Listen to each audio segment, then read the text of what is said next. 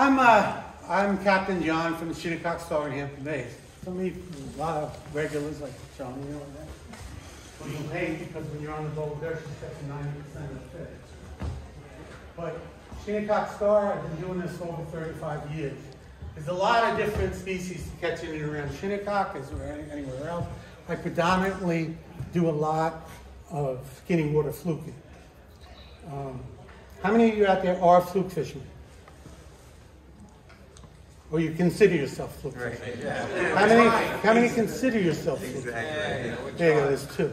Okay. How many of you have your own boat? Oh, that sucks. Excuse me. Uh, yeah, a lot of you have your own boat. Now that's cool. Is um, like I said, I've been doing it for 35 years. We mostly start, uh, we do start May 1st in the Peconic for porgies, weak fish. That's it, folks. Thanks very much.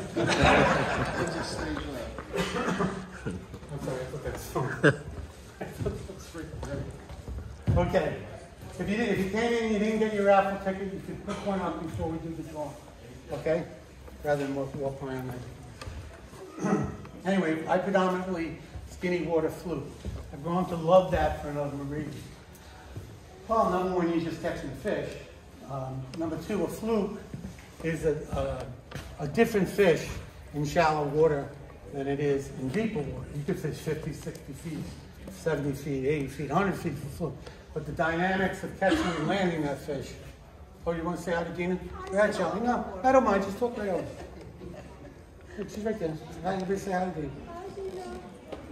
It's a different fish in skinny water. Um, you hook a five pound fluke in five feet of water. I mean, I've seen times where these fish, they don't just sound and you get a few thumps as you're reeling them up from the, the depth, but they will tarpon on you, jump out of the water, dive. They're going to do so much because they're so freaking green. I mean, you just hook them at five feet of water. And guess what? That fish knows he's at five feet of water. She knows she's, she's So I'm not politically correct all the time. I try to be he, she, it doesn't know that, it, uh, yeah, that it's in five feet of water. So you're going to get a different kind of fish. And what I tell most of my customers is, is go gently on it. You have to. You can't just start muscling fish. You have to take your time with it, know what it's doing, know when to reel, know when to pump. It's a little more of a job to land a fish in five feet of water than 50 feet. So that's kind of got me hooked on it. I'm like, I'm on cooked on this. And personally, I've landed like three fluke over nine pounds and under five feet of water. And it was spectacular. It was spectacular. It was, um, I've also landed nine pound fish in 80 feet. To me, it's just, you know, okay, few times, get them up. In that. It's totally different ball. When you're fishing skinny water, oh, this, I have to relay this to you right. Last year, how many of you fluke fished?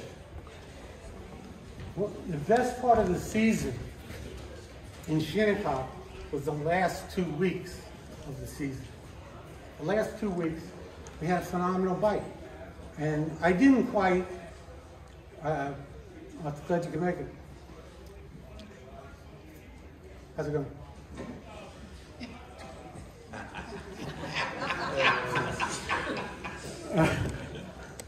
Ronnie knows better than anybody else all that. But we had the last two weeks of the season. And this, I'm trying you, drawing this to your attention because it teaches you that you don't, you think you know everything, and then guess what? you don't really know it. And the best way to be is open to learning. What the freak, what's, what's changed? What's changed? me and Jimmy Dillon on the Peace of Mind in Hampton Bays, a great charter boat fisherman flukes uh, straight there.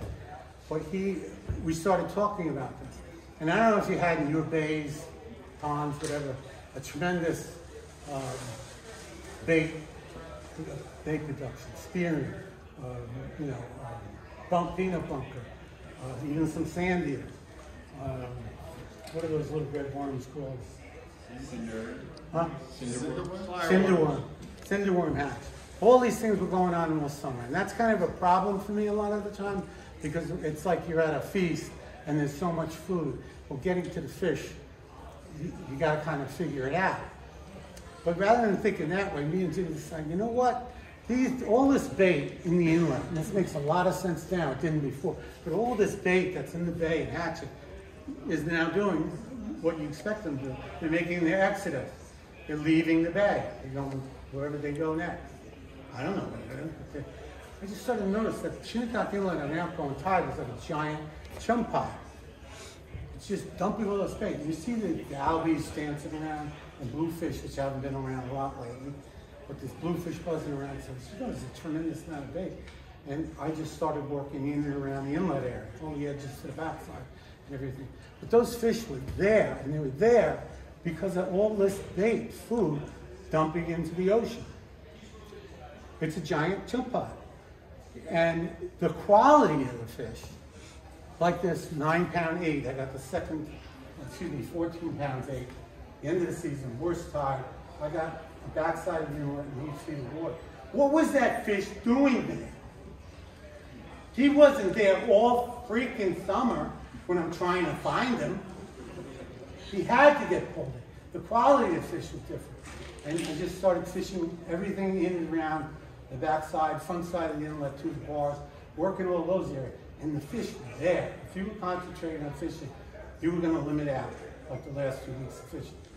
It's just the way it was. And it was great for me. Excuse me, Can I help you with anything? Want to get coffee or? But I, I just came to an understanding that that's what this, that's what was going on. The quality of fish was different. These fish weren't there all summer, and they certainly, the ocean's been poor around Shinnecock as far as my find the depth, drift from a mile, and you catch a fish. That doesn't really exist the last five, ten years. It doesn't exist. You got to skirt wrecks out there. You, you're going to get hung. You're going to get hung the still because that's where the fish are. They're on the edges of the beaches. So it brings even more of my attention to fishing in the shallow water. It's not getting hung that much. You can work it if you know how to work it. And you can find these little freaking gems of, of where the fish are and figure out why they're there. So how many had that bite? Last, last place. Where were you at? On the backside of the inlet. In Shinnecock? Yeah. In Shinnecock? Yeah, on the east Well- side, west side. You, Did you, did you limit out? Yeah, every day. Plus.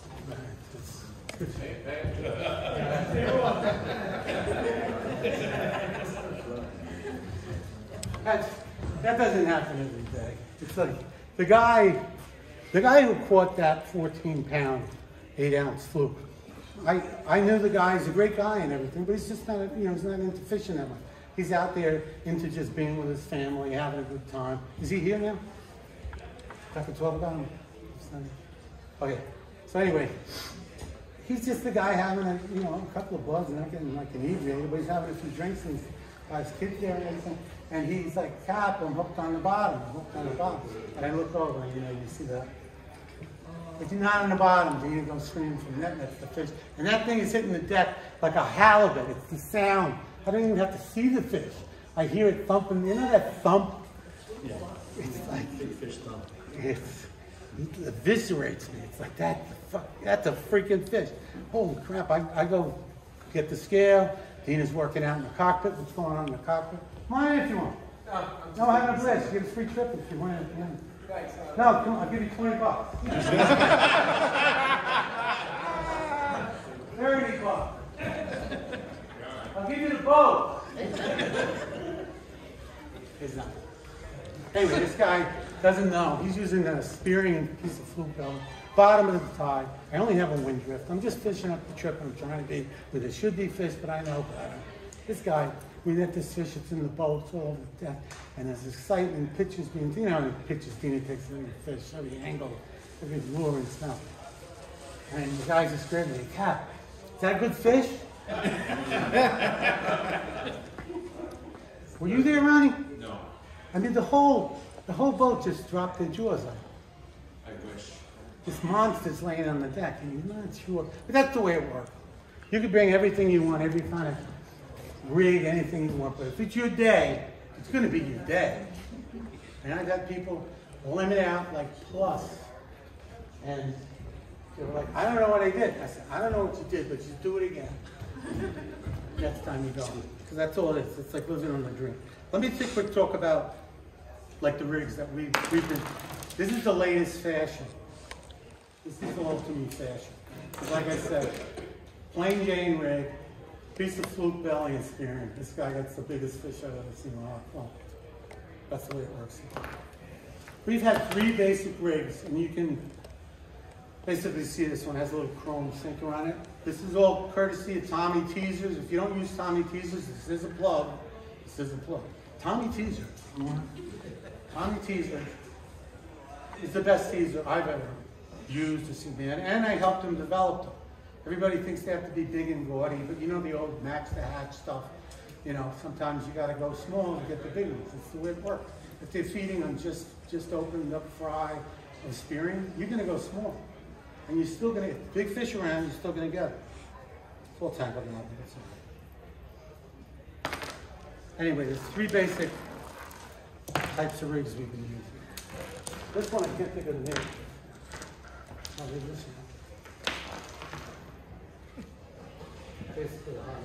This one's been the killerest in the bay for us. It's a biffle head, it's a jig with a swag hook on it. And you got the teaser, you'd have it a little higher up. Just a little short on leader. But you have this jig with a leader on it. Synthetics like this, I would normally personally using this, I'd have a larger gulp on the bottom, smaller gulp on the top, and I just work it. I find that when you have the hatches, they do work, but this type of rig works best when there haven't been any hatches. When you first start the season, there's no hatches. The fish are coming in because they know to come in.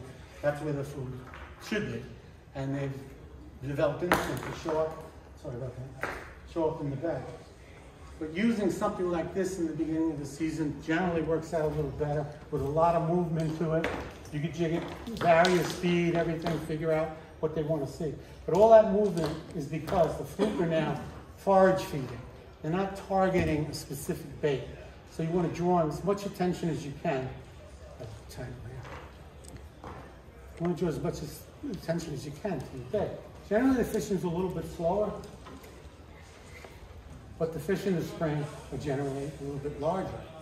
So you have a better opportunity to get the fish with this stuff.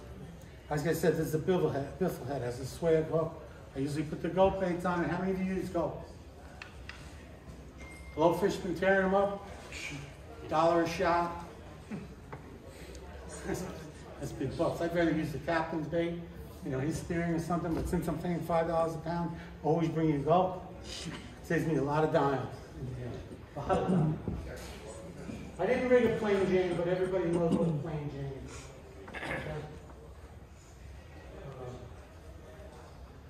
Totally prepared for this. I have several different rods here. As you can see, I'll use spinning or conventional. I got eyes here. Spinning or conventional.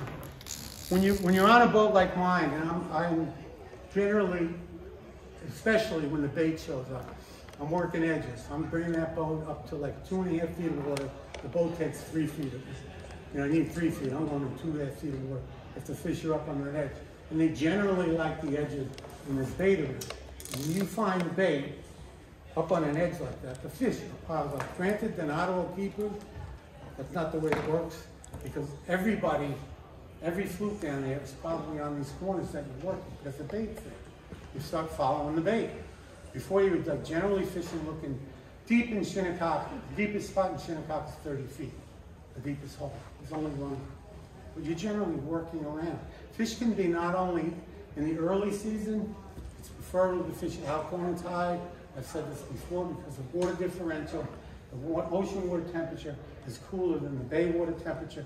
They like that ebb in the start of the, the early season because the warmer water like triggers something in the fish. And when you're doing that and you're, fishing them while they're foraging, you got to work around and try to figure out, okay, where are they? They're not on bait. They're not probably not up on the edge piled up.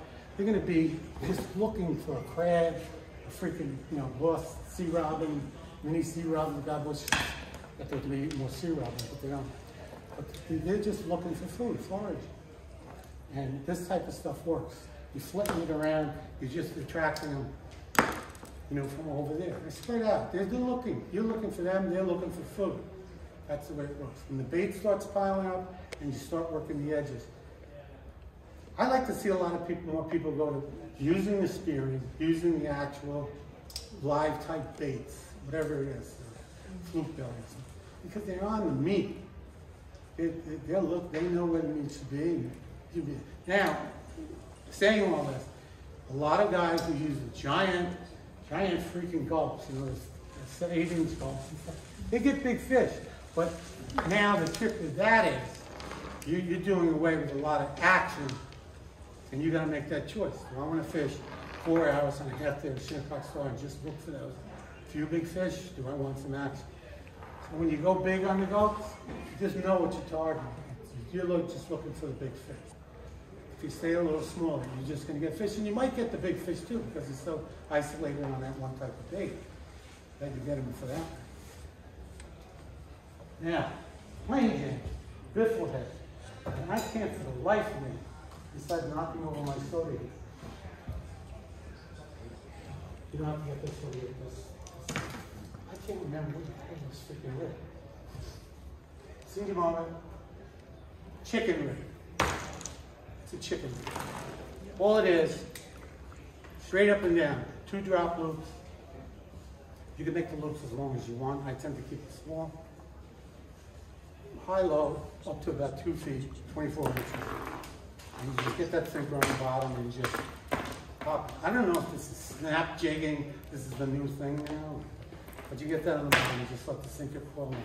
And I saw that this, this rig, even though I don't think I'll ever use it, outproduces most rigs. You know, the days of like trailing a three foot leader, you know, one three foot leader over off your sinker, kind of over. But plain Jane still works, that whole thing doesn't work. This works great in the. This works great if you're, how you doing? Get you anything? I just want to get a seat over here. Good.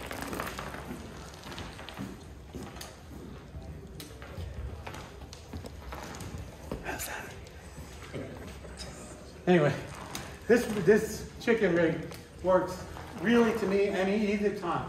You want to either bucktail, heavy, when they're foraging, kind of switch it around when you're fishing the bait piles. And this works under either condition.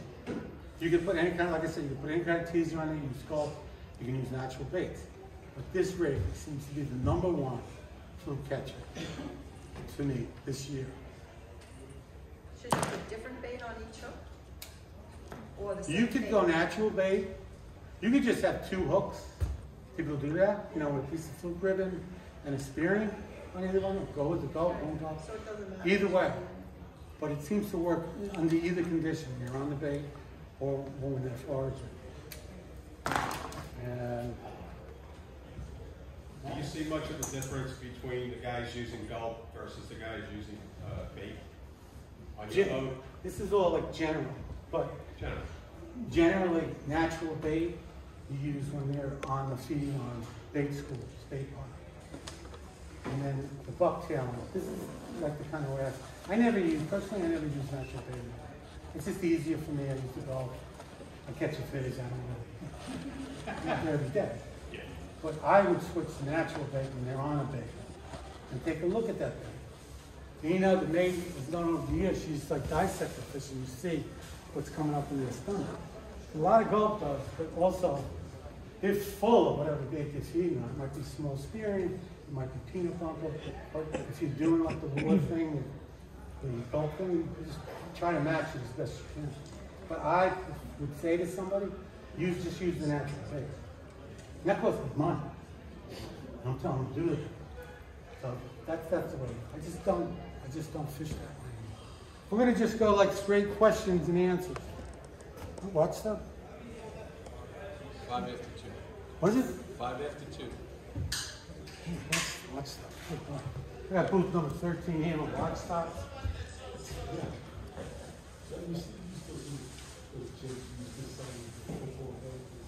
That's a. We couldn't hear his question. Sorry. The- He asked about the biffle head. The biffle head's a football head. With a swag hook on it. It's a football leg. In the bay, in skinny water, I'll use a half ounce, but sometimes it's good to go up to like an ounce, ounce and a quarter, depending on condition. But that hook, let's just talk about the biffle a little bit. That swag, swag hook, if you're just giving it a light twitch, you're fishing it, that thing's moving all kinds of nuts, you know, that hook is swinging.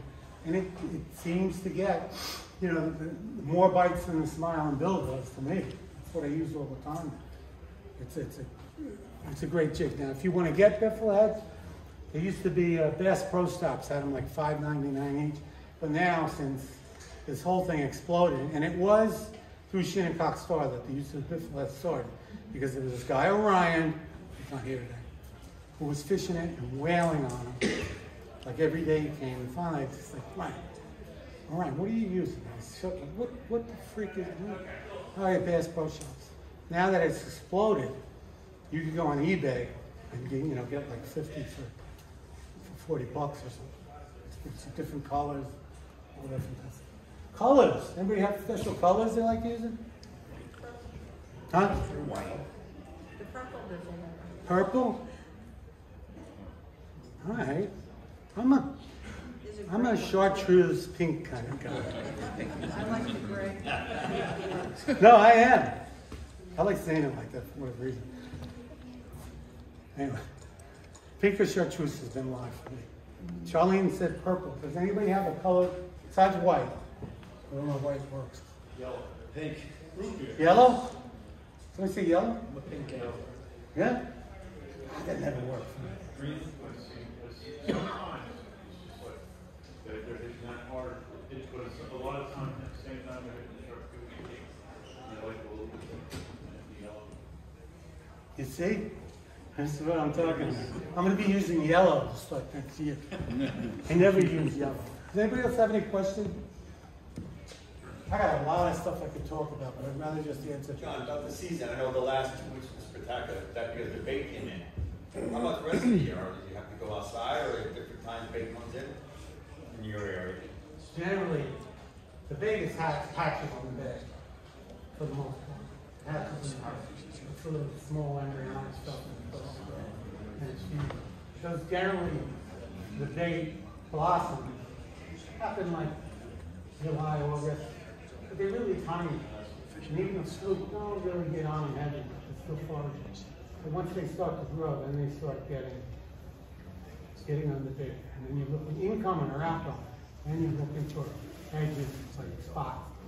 Try to deep drop, you know, when I'm saying deep, like I said, max thirty in the bank. Generally, we're fishing like ten feet of water. Do you have questions? The yellow the.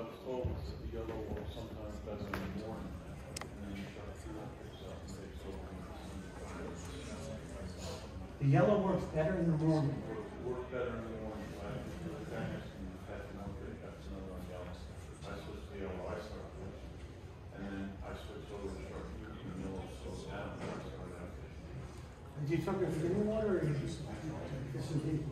Fairly deep, like, like thirty foot. In the bag? Uh,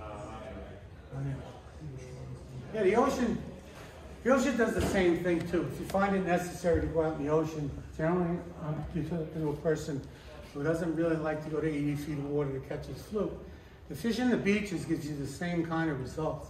If you're riding down the beach towards the cheese house out of Shinnecock to the east or something, you find an edge, it's a good idea. If you got the drift, that's a big thing. If you got the drift, check out the edge because the bait will also it's looking the bait is looking to hide it's looking for structure if you find the structure it might be just a little five foot like small dropout in the ocean it's worth a check especially if you're marking when you guys are boats if you're marking bait hit the edge You find big fish among shorts? hmm? You find big fish amongst shorts?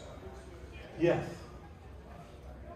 yes He found, he found an edge by, uh, Ash where on the north shore. On the north shore. You know where the power, local power plant is? you don't have to give me the numbers that's too far He found an edge, and every time we would go over the edge, we would find fish that were like an inch, inch and a half short. And just, I, I think we pulled one keeper or two keepers out of the rolling, uh, last year. You know, that, that's an interesting question because I'm trying to think in retrospect of, you know, when there's action, I'm happy, I'm bending the rod. Yeah, right. and you have the opportunity. But honestly, I think if you, if you chose to just like say drift a deep spot rather than drift that edge you're talking about, I think what your results are gonna be, you're gonna, you're gonna have to wait a long time for the bigger one. It's just you gotta cover more area. Once again, drift gets involved. You have to cover more area, not it's gonna get as much, action. And as far as catching more bigger fish, I don't see that. I mean, you gotta, you gotta think about it like microscopically, microeconomics. You know, if you have, like in Shinnecock Bay, west bridge, as this guy knows all about, addresses, the, the bar goes all the way from the north side of the bay to the south side. And you gotta get around the Tiana, you get behind the bar of it. If you're like fishing this area, it- you can look at it as one big bar, it can drift any- anywhere, but that's not really what it is. It's currents that you don't see going on in the water, there's back eddies that you don't see. You might just drift from east to west, or west to east, but there's currents under. You can feel them sometimes in the boat. You'll feel the boat drifting and it kind of kicks out. You know, it's like a back, and those are great things to work, especially looking at this bar that's uh, west of the Ponquogue Bridge in Hampton Bay. You look at this bar, I'm not just looking at the whole bar, I'm looking at the corners, I'm looking to the back end, where, you know, you might see a little whirlpool thing, type thing on the surface, like the water's just spinning grass around, and then you'll, you'll see an edge there. You know, all the physics involved in it, but there's a back eddy of sorts.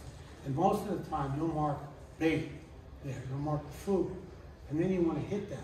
And it's not just the whole bar, looking at the pieces of it. And realize this, they sit like on this corner, this part of the tie, and you give me every, and that's what I'm going to hit.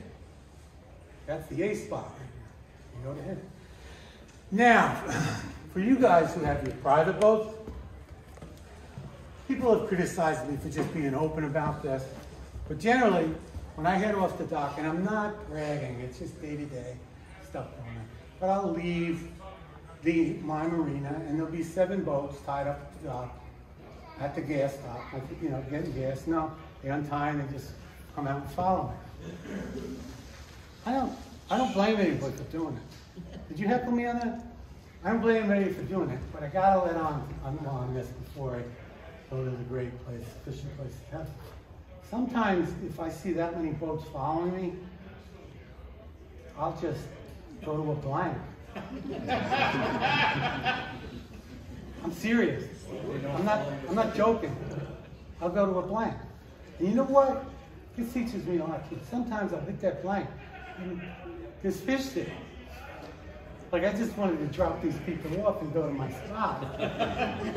you, you get, you get, the, yeah.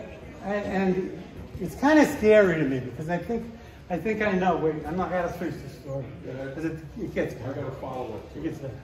Sometimes when I got the boats following me, west, east of the Ponquogue Bridge, there's a big area where you, there's deep water all around. I'll just have the six boats and I'll just start to make a circle. it's a big one, so you think he's just looking for something. Captain John is looking for something. And then I'll look back and they'll still be on me. I'll just make another circle. Rita, have you ever been on my boat when I did that? Yeah, you have. Because I, I swear to God, I've done it. And it's like the third circle, and then these guys like, wait, he's screwing, he's screwing around with us. And then I'll just take off. And then I'll let the other two boats just follow me. But I, is this sick or what? No, take it as a compliment. No, I think I have a problem. Oh, you? Yeah, not, not the guys following me. They're being smart. They can't get out every day. Of course. Right.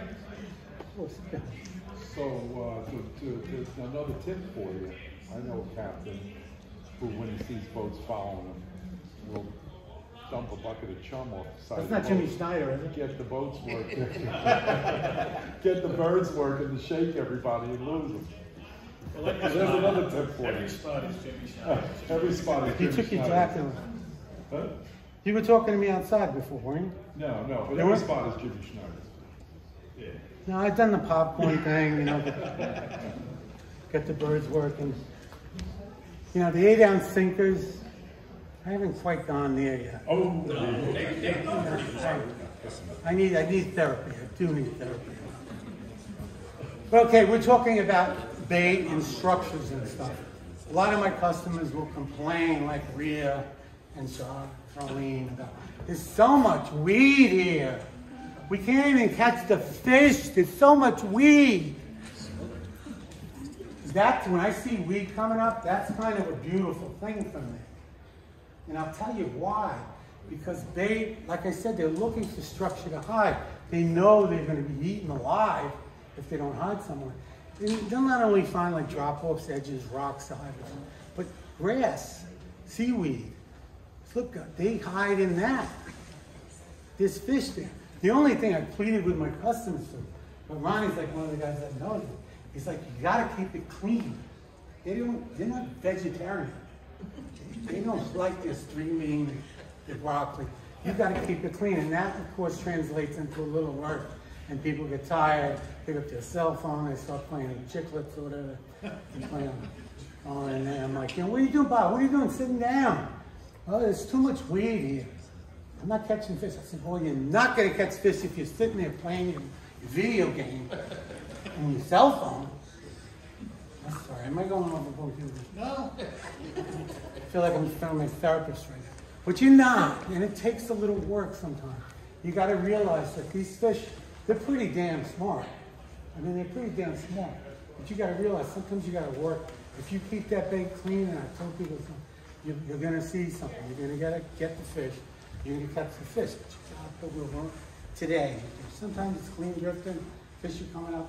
and, ah, uh, most of the time, if you don't work it, the presentation, presentation is always big. I have people come on the boat, and I understand this if you're green and you've never done it before.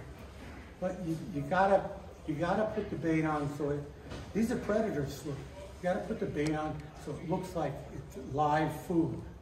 They'll eat clam or anything. They will, they have, I've seen it happen. But you, if you're gonna present a spearing to them, or a piece of fluke belly, you want it to trail off the hook and just be swimming through the water. And that's where you get your shots. You ever do any of your fishing at night after it gets? Night fishing? Uh, I used to do that eons ago, you know, striped bass No, for fluke. for fluke. Have I done it or? We, we have, I just set up for private charters for five to eight PM. That's not an open boat generally. I might do it this year, I haven't decided yet, but do evening fluke trips. A lot of people into fluke fishing, but generally I don't. Because sometimes if you have no bite those are bad, you throw them, you're awesome. Um, and they're still not bad. You can go back to the same spot after it gets dark. You can only what? You can go back to the same spot after it gets dark and use either strips of bunker or strips of bluefish on a hook. And you'll limit out. In the same spot that you try fishing all day. You're saying you've done really well at night in the dark. After it dark. I, I don't do that generally, but I have done well when people tell me it's dark, you're not gonna catch fluke. They do still feed. They have to have some kind of ambient light, I find, either a good moon glow or dock lights. Those are also out. But pitch black, I've never really caught them, you know, in my retrospect on it. I've never really caught them. You guys board or anything? No, I appreciate your knowledge. Huh? I appreciate your knowledge. Oh, thank you very much. Does anybody know what fluke is, fluke the same this year? I don't even know. Nineteen? Same, so eight- Four- 18 and a half still. 18 and a half, is 18 and a half last year? yeah, we got the paper. Should have heard the change in the sequence. Yeah, You guys got any question? I'm putting you to sleep here. You want some coffee or something? What is it? Joe, what is it, eighteen five? Joe? Yeah, Spilled my diet Joe? Dr. Pepper. When you do the skinny water fluke, do you find that white works well in the, in the, water? What works on? White, color, white. White is like always the go-to. you know what I mean?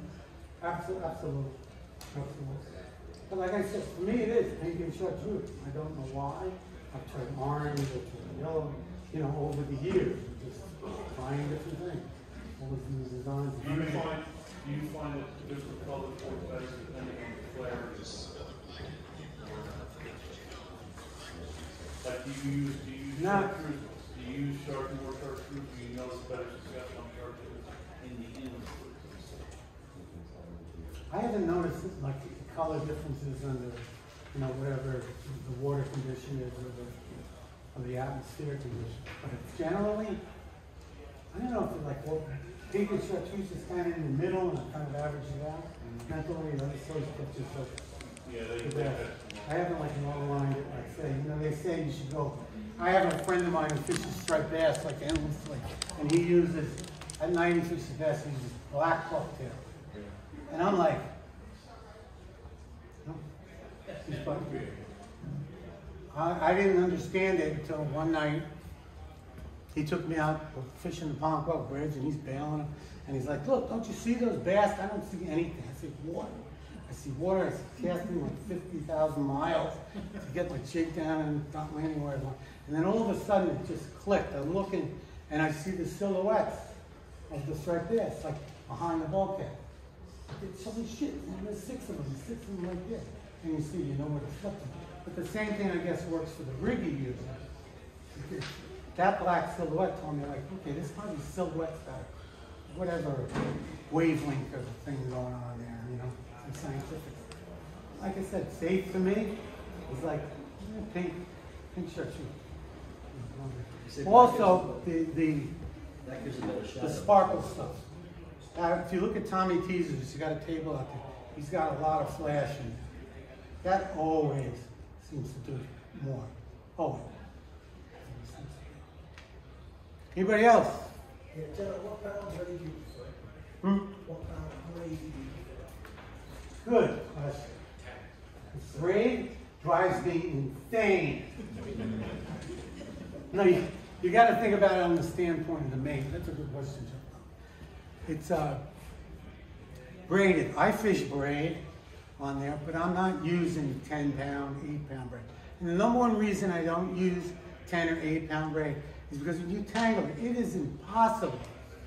And I know I'm geriatric and everything, but it's impossible to take that apart and untangle it. You're gonna get tangled.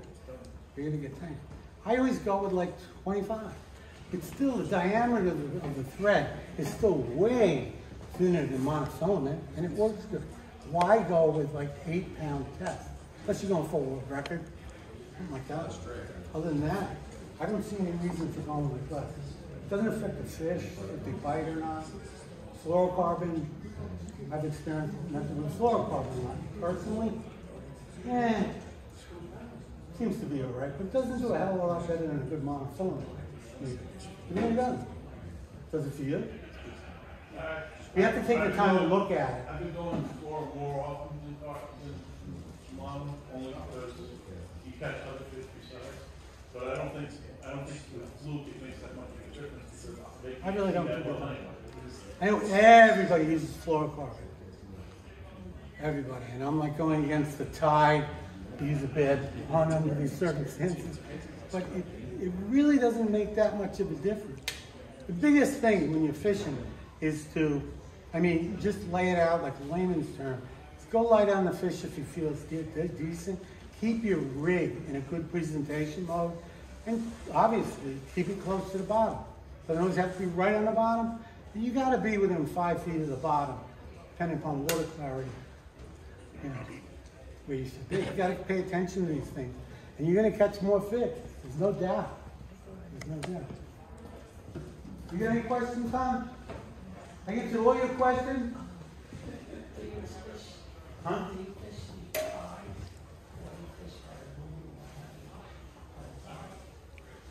Good question. Can you repeat the question? And I'm gonna tell you a little story. She asked me, do we, do I fish the tide?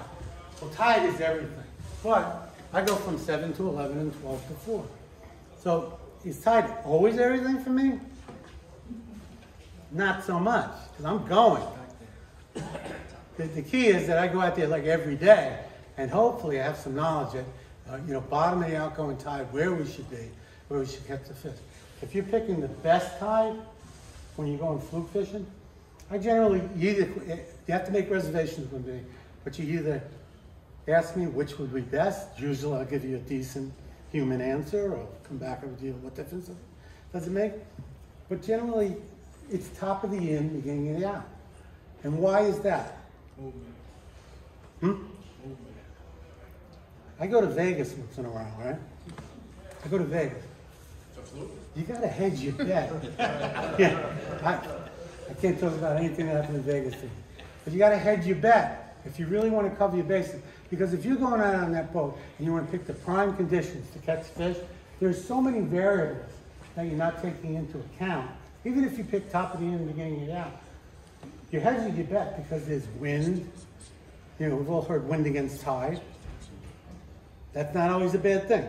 But there's wind against tide, the water's cloudy, whatever, whatever different variables. You can't play all the variables.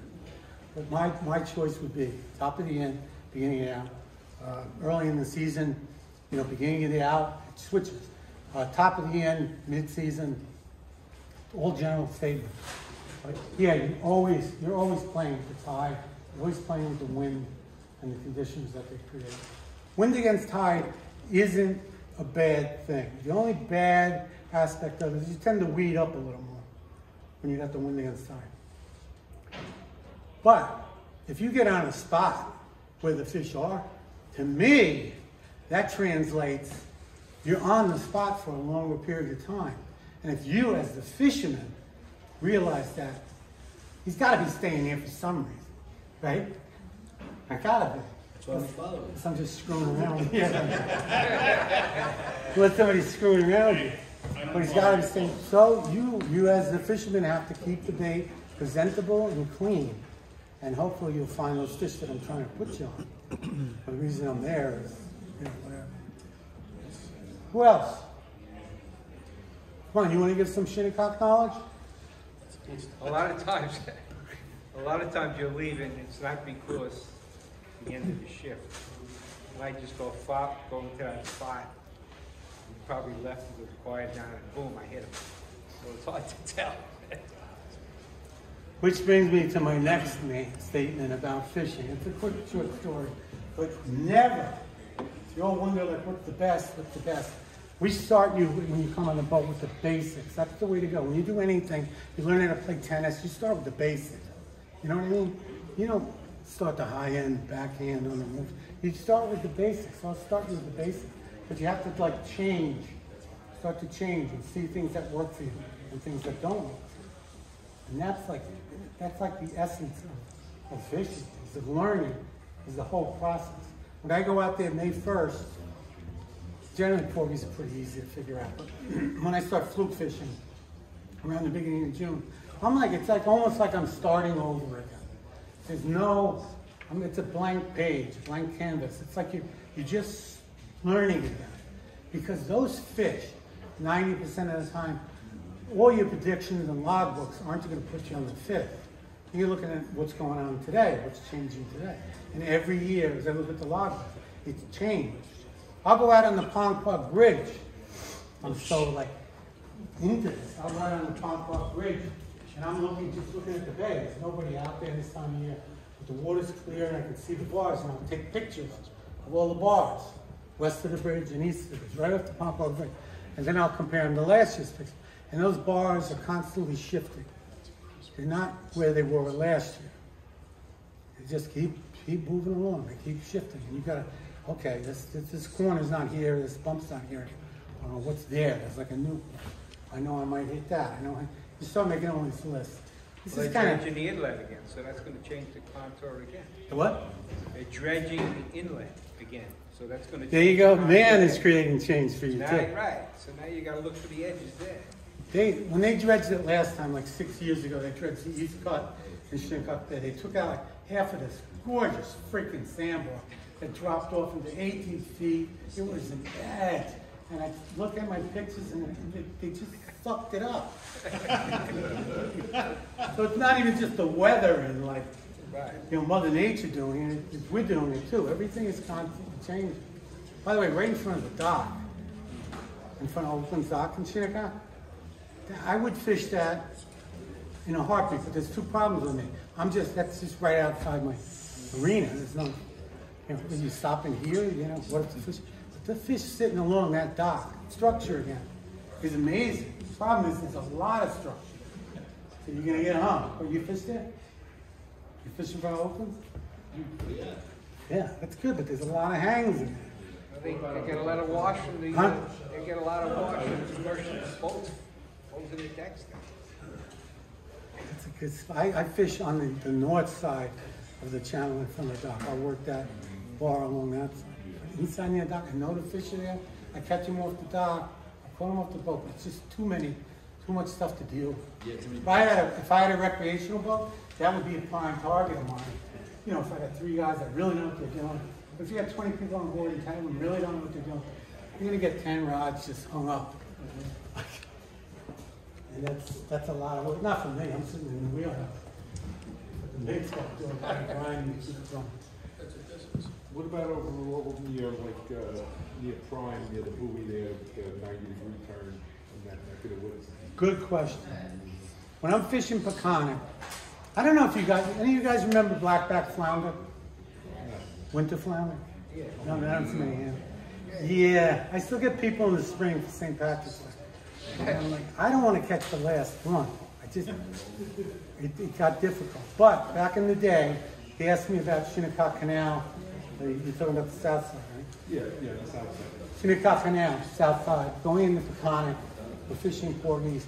And when flukes start biting, I'll give you like, we, we're done, we caught a lot of porgies, we're gonna go look for fluke. But that, when, either when the locks are open or locks are closed, is a great early season spot. Because I used to go flounder fishing for blackbacks, and I called them flatfish trips, because I would catch fluke and flounder and keepers. And this was then, this amazes a lot of people that know about water temperature and all that stuff.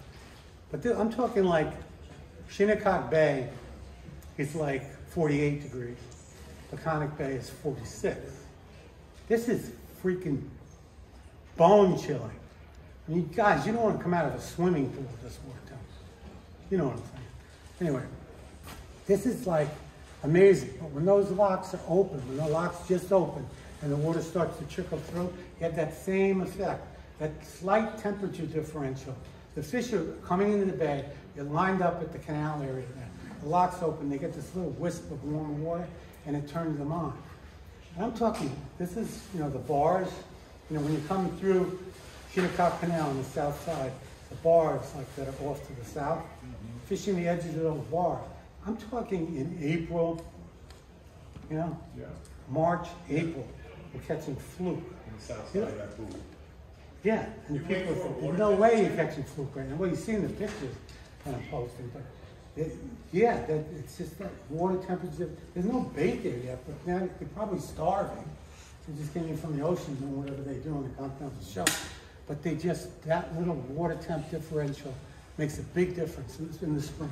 That place clears out after everything starts to even out a little bit. The fish get smaller.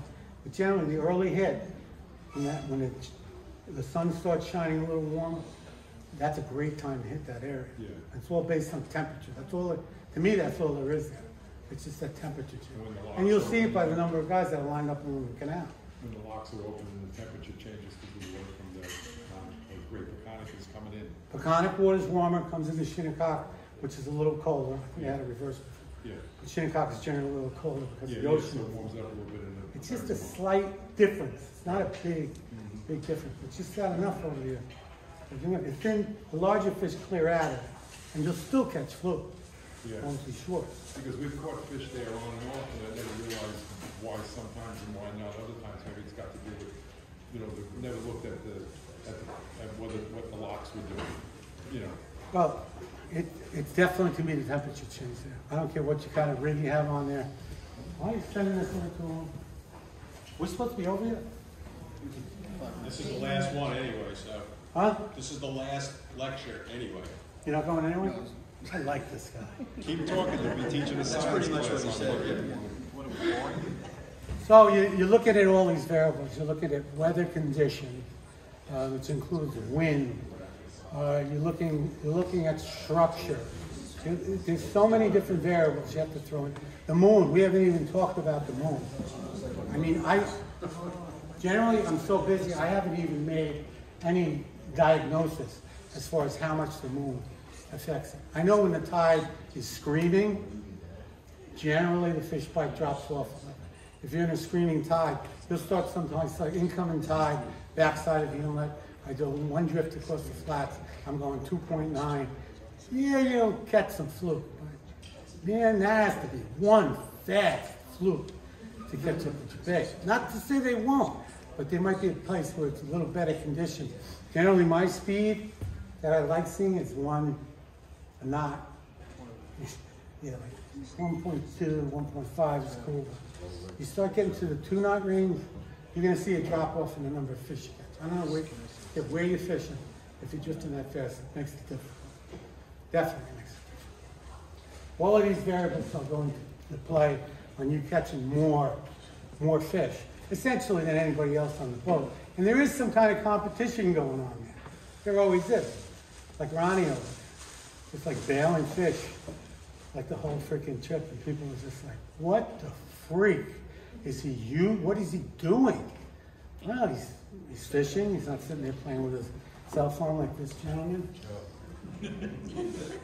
Crossword puzzle. I just love that. But we're not fishing now. so- That's right. But staying with it and just paying attention. It's keeping it really, keeping it as simple as you can and still catching fish. That's always the way I look. I've reverted to, I use my biffle head jig and a teaser, both with, um, you know, those fake wigglers, whatever they're called. You put on those and that's what I want. It's the most comfortable thing for me. Comfort in what you're using. You have to, you, you really, it, it sounds like spiritual this thing, but you really have to believe in what you're using is going to catch fish. Otherwise, you're disappointing yourself before you even get started. So if you, on the Mind Boat, if you do want to try something else, we'll offer that to you as best we can. But, you know, do your research. See what's on. You can check us out now. I just got my website up again. I don't know how many of you guys are out there are cyber guys, but I am not. But I have to get the information out, and we get it out. I'm going to get it out to the website, Instagram, Facebook. You could see now the way the whole fishing experience has changed. It used to be like for my business 35 years ago. I go out to, I got my loyal guys that come every day. Now, a lot of people do what I call internet fishing. And that's you, and it's a, it's a tool now. I'm just not freaking used to it. You can go and find out when I'm catching, if I'm catching fish, what I'm catching, like almost by the hour. That's freaking amazing. Don't you think? I used to have guys that came out two, two didn't see for two months and they just get on the boat. What's going on? Oh, well, you know, I'll just say to them, well, we're not porgy fishing anymore. Get some sea bass, white chumps, chumps and striped bass. Okay, okay. Now it's like, it's like a different, it's a different world. But using it to your advantage, especially with all these big steps in the cyber world, you know, Instagram, Facebook, you have what I caught that day. You know, if you're thinking about coming tomorrow, it's a good day, but you know the old saying, that was yesterday. Yeah, that Should happens. have been here. That happens, some- that happens a lot. A lot. But it's, it's, it's even more difficult to me, I mean, looking at the whole picture. I mean, personally, I think you should decide you found a captain that you think is the right guy. Right? He's the captain. And know, you have to know that that captain is doing the best he can to put you on fish, right? Doesn't that make sense? A lot of people don't really get it. But that's, honest to God, me or any other captain that I know is really always trying to, to work it with you, trying to find you fish. It's what we try to do as a whole. I don't understand. I'm, not, I'm like chief cook and bottle washer now in the Shinnecock Star. I answer the phones, you know, do this, do that, everything except the deck, everything's on me. And I'm real, I'm not a great phone personality. Okay, I get it. But I have to, I have to share this with you. If you're planning on going fishing on a boat, Laura, Yes, Captain? sleeping on me. If she's, she's experienced this. This is my shrink, Laura. Got a hand for her. Really, that's my shrink. She travels with me. But if you're gonna book a spot on a boat, it's a new boat to you, you're gonna try it. When I get questions like this, I kinda have a little problem. Like, I don't mind, like, so I wanna go fishing in two days. Yeah, we go seven, eleven, twelve, four, one you wanna, well, I got a few questions for you. No problem. You know, are we gonna catch fish? And I'm like, Well, I, I'm being personal, I'm like, I hope you do. I hope you do. Not even the phone name. It's like on the phone. But I hope you do. You're like, oh, okay. Okay, if, if we, you know, I really want my whole family to catch fish. And I'm like, yeah, well, we're gonna do our best we can. We're gonna set you up. We're gonna do that, blah, blah, blah, blah, blah. Okay, let's say we do catch fish. Can we keep them? Well, they gotta be this, you know, a certain size and everything. But I, I really want you guaranteed that, that we're gonna catch some fish. Look, again, I'm still tr- trying to hold on. I'm not, not good. You that called me, right? I'm trying to hold on. And I'm saying, yeah, you know, like I said, we're gonna do the best we can, and the best we can. I just don't, I just don't know if, we're- wait a minute, okay, time out. Time out. Look, you're spend hundred and forty dollars for your family to go fishing, right? Yeah. Yeah, okay. This is what I want you to do with the money. I want you go to a fish market. Honest to God, I said that. I want you go to a fish market, and two hundred and forty dollars, you can buy lobster, you can buy shrimp, any type of fish fillet that you want. And get a lot of it, and you're gonna have change. You won't even have to tip the guy behind the counter. Yeah, yeah, but but Captain, I want to go fishing. I'm like, that's it. That's what you have to get in your mind that you're going fishing. I don't know 100% you're going to catch. I don't know if you can fish. I don't know what you can do. That's that's always the best thing when you get someone who's from like a city or someone who isn't near the water, and they go from? out into nature and they're just like, okay, you go outdoors, so you're gonna tell me the future. You're gonna read the future for me. So you go outdoors. But we, all- we, but we all have to understand, we're all fishermen here, I think. We all enjoy it. We understand the aspects of fishing. It's not just catching fish. It's, you know, Charlene's bringing me brownies, which she didn't bring me to the show. You know, there's, there's all these things going on. Getting to know people, you're learning how to better catch fish. Most of them, I call them barometers on my boat. The guys that really know how to catch them. I'll go to a spot and I have five guys on the deck. If I don't see that, I'll just look at them and I'll get in. And then I'll know this is not going to work right here. But those are my barometers. You know, the people that just go for it. once in a while and go for people help you all we can. But you have to put a little effort in too. Especially with skinny water fluking. It can be kind of a finesse. Like how many of you fish blackfish? Like you all know is that there's a touch that you have to learn. And the only way you learn is through experience. That touch with the blackfish, understanding how they're biting right now, how they, the whole thing. And then you'll be hooking up more blackfish. It's the same thing with fluke. If they're in a chase mode, this is one thing that really irks me. everybody for attending today's show and for the vendors for uh, providing us with everything that you did. Thank you all very much. Raffles will be thrown I'm gonna just pick the numbers. Usually pick a cute young kid in the crowd. You know, you know Rita might come up. Wanna pick the numbers, Rita? Come on, Rita, you're embarrassed. Come on, let me embarrass you. Okay, 34 half-day trip. Get out of here. You said that. You tried to take more. No freaking way. Let me see the number. Fifty I took. I took that up before they threw it back in. You got it. Yes. Three or more people, huh? No, that was weird because I was giving you a hard time about it. Okay. I spilled soda on the t-shirt and hat here, but if you come by the booth, I'll give it to you. 39. Just kidding. Who said bingo? Not me. No. Nobody? 30. 39? Going once? Person they left. Guy left. Yep. See? I got You it. should have never left.